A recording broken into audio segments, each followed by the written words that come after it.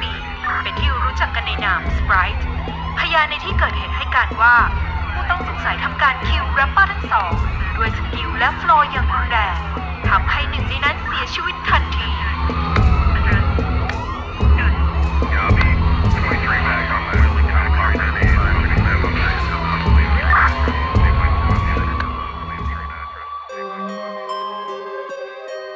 哎哎。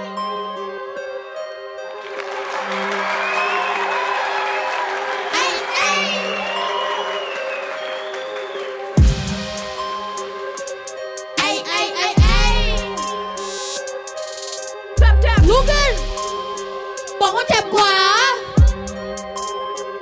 เอ้เทเอมีไร เดี๋ยวผมยิงพี่เดี๋ยวมันอูซี่อายุสิบห้าผมเจ็บกว่าพี่ก็ดูดิถ้วยแชมป์อยู่ในมือ ผมนั่นน่ะก็ชูดิเทเอเวจีแพ้ผมแน่ก็ลงดู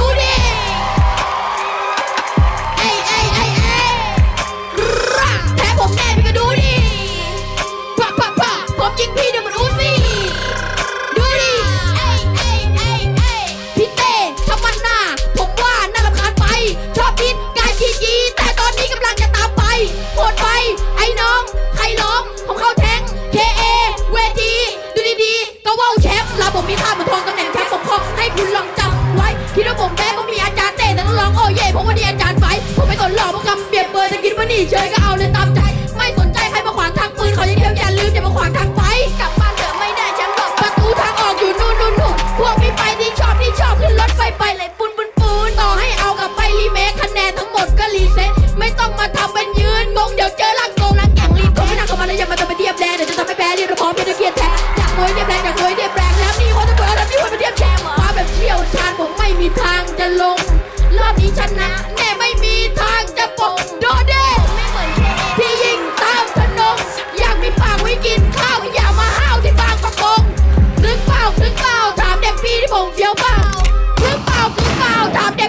ผเฟี้ยวเปล่า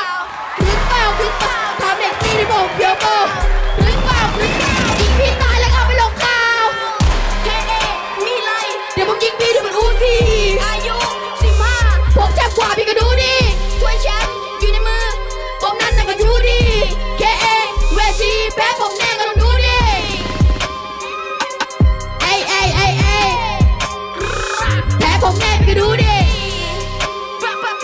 ยิงปีเดี๋ยวรู้สิ